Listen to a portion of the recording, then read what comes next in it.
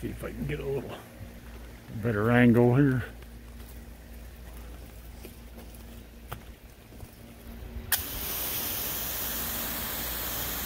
Nope, spooked that time.